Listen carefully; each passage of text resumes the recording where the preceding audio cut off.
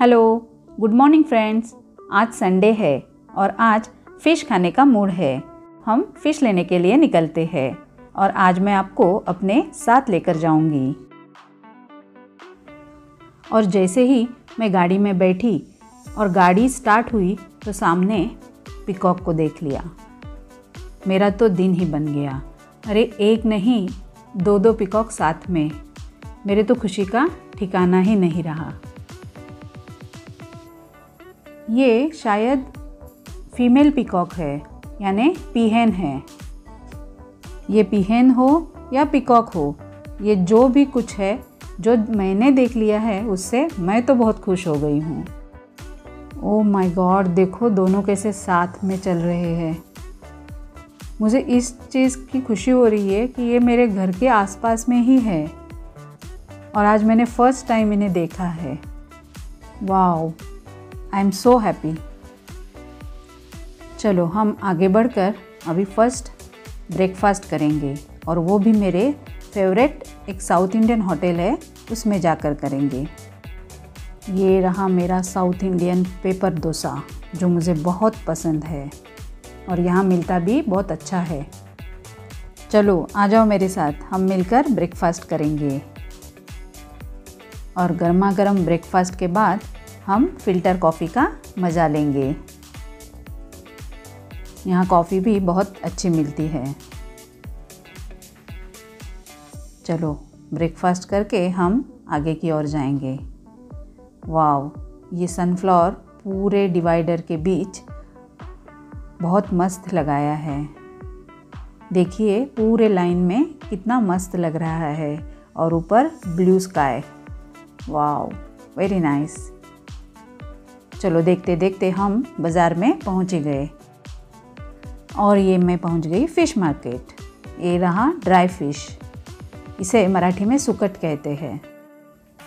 और ये रहा हमारा मेन फ़िश मार्केट। यहाँ पे आपको सब तरह की फ़िश दिखेगी। जो भी फ़िश आप चाहे, यहाँ पे मिल जाती है। ये देखिए लॉबस्टर है। बहुत सारों के तो नाम भी मुझे पता नहीं है। ये भी क्रैप्स है, लेकिन अलग अलग टाइप के रहते हैं क्रैब्स ये रहा बड़ा वाला क्रैब इस दुकानदार को जब पता चला मैं वीडियो कर रही हूँ तो वो सामने बड़ा क्रैब लेके खड़ा हो गया और बता रहा है, ये भी वीडियो आप उतारो। और मेरे हाथ में एक लंबा चौड़ा लॉबस्टर थमा दिया और बता रहा है कि ये ऐसे पकड़ो, इसे ऐसे पकड़ते हैं। और पूरे वीडियो उसने उतारने लगाई। फ़िश लेते वक्त मैं दुकानदार जो देगा, वो बिल्कुल नहीं लेती हूँ। पहले मैं चेक करती हूँ, ये फ्रेश है या नहीं। अगर फ्रेश हुआ तो ही लेती हूँ अदरवाइज़ मैं खाली हाथ लौट जाती हूँ, लेकिन फ़िश नहीं लेती हूँ। फ़िश में अगर फ्रेश है तो ही खाने में मज़ा आता है। अगर प्रॉन्स लेना है तो वो स्टिफ रहना चाहिए। अगर पापलेट ले रहे हैं तो उसे हम ऐसे दबाकर देखते हैं आँख की ओर। फेंस रहता है, वहाँ पे दबाना है। अगर लाल वाटर है तो वो फ्रेश नहीं है। अगर वाइट वाटर निकलता है तो ही ये देखो वाइट निकला है तो मैंने एक ले लिया। दूसरे में देखा तो देखो लाल आ रहा है तो मैंने छोड़ दिया। मुझे नहीं चाहिए, क्योंकि उसमें वो जो स्मेल है, उससे मेरे घर में कोई फ़िश नहीं खाता है। अगर एक निकला तो मैं एक लेकर जाऊँगी, लेकिन उतना ही लूँगी, अगर वो फ्रेश है तो। वैसे मैंने दो निकाले वाइट वाटर वाले, देखिए यहाँ पे। बस अभी मैं इसे कटिंग को देकर, देखिए कितना अच्छा कटिंग कर रहा है ये। मैंने दो पॉम्पलेट लिए हैं और वन के जी प्रॉन्स लिए हैं। और यहाँ पे मैंने तीन बांगड़े लिए हैं, इसे माइक्रेल भी कहते हैं। इसके मैं कटलेट्स बनाऊँगी, उसका वीडियो आपको ज़रूर दिखाऊँगी। मैंने जो फ़िश ली है वो मैं इस डब्बे में नीचे आइस रख कर उसके ऊपर भी आइस लगा कर फिर अपने साथ लेके जाऊँगी।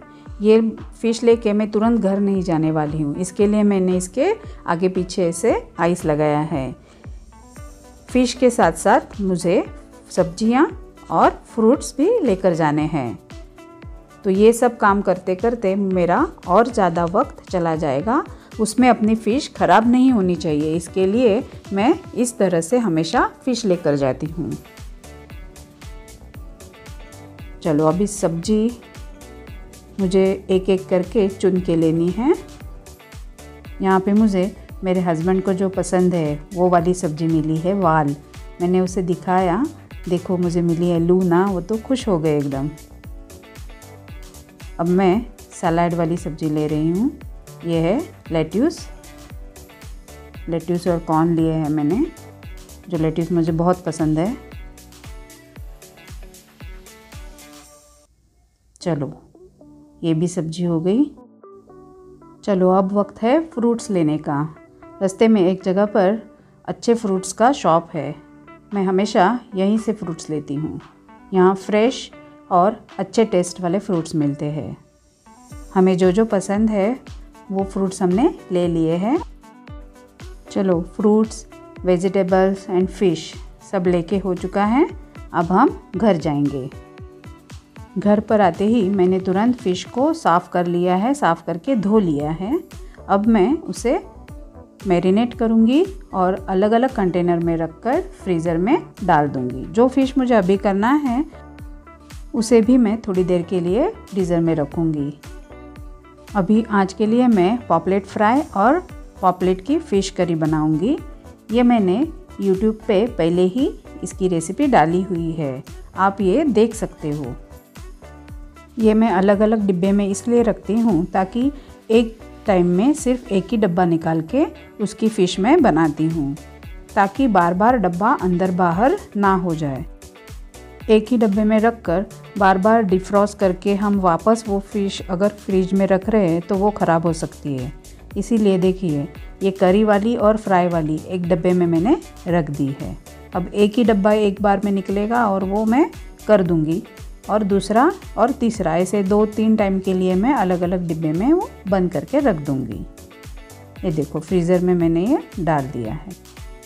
देखिए, तेल का डब्बा दिख रहा है आपको? पूरा तेल निकाल लिया मैंने। थोड़ा भी मैंने उसमें बाकी नहीं रहने दिया है। आपको शायद हँसी आएगी, लेकिन मैं ऐसी ही हूँ। मैं वेस्ट नहीं जाने देती। चलो, खाने के लिए तो ज़्यादा ही लेट हो जाएगा। मेरीनेशन के तुरंत बाद मैंने फटाफट खाने की तैयारी कर ली थी, ताकि खाने में लेट न हो जाए। एक तरफ़ मैंने फ़िश फ्राई के लिए रख दिया, एक तरफ़ मैंने फ़िश करी भी बना ली है, चावल भी हो चुका है। अभी फ़िश फ्राई करते करते मैं साइड में चपाती बना लूँगी। ये स्लो टू मीडियम गैस पे मेरा फ़िश फ्राई हो रहा है। तब तक मेरी चपाती कंप्लीट हो जाएगी। एक घंटे के अंदर ही मेरा पूरा खाना रेडी हो चुका है। चलो तो खाना हम सर्व करते हैं। देखिए, यहाँ पे क्या क्या बना है। Fish curry prawns fry paplet fry और चपाती और उसके साथ थोड़ा चावल। ये मैं आपको दिखाने के लिए सर्व कर रही हूँ। चावल तो वैसे हम बाद में लेते हैं गरम गरम लेकिन सिर्फ़ आपको दिखाने के लिए इतना मैंने सर्व किया है। चलो आ जाओ गर्मा गर्म खाना खाने।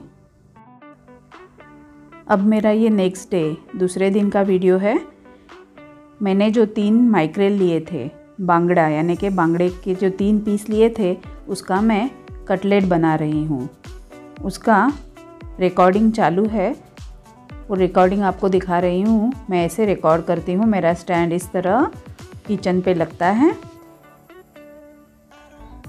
और रिकॉर्डिंग चालू रहती है। ये जो मैंने कटलेट बनाए थे, बहुत ही टेस्टी बने थे। घर में तो सबको पसंद आए। जब ये मैं कटलेट का वीडियो अपलोड करूँगी, तब आप ये ज़रूर ट्राई करना। जैसे ही ये कटलेट फ्राई होने लगे, तब इतना अच्छा स्मेल आने लगा कि मेरी बेटी और मेरे हस्बैंड तो जल्दी में ही मांगने लगे। मैंने बोला, अरे, रुको, ज़रा फ्राई तो होने दो। अगर ये अच्छे से गोल्डन फ्राई करते हैं, तभी इसका टेस्ट और दुगना हो जाता है। इस तरह तीन बांगड़ा फ़िश के मैंने यहाँ पे बारह कटलेट बना लिए हैं। आज मैंने फ़र्स्ट टाइम व्लॉग बनाया है। अगर आपको मेरा ये व्लॉग अच्छा लगा तो लाइक शेयर और सब्सक्राइब ज़रूर करना। हाँ और बेल आइकॉन की घंटी दबाना नहीं भूलना। बाय फ्रेंड्स फिर मिलेंगे नेक्स्ट टाइम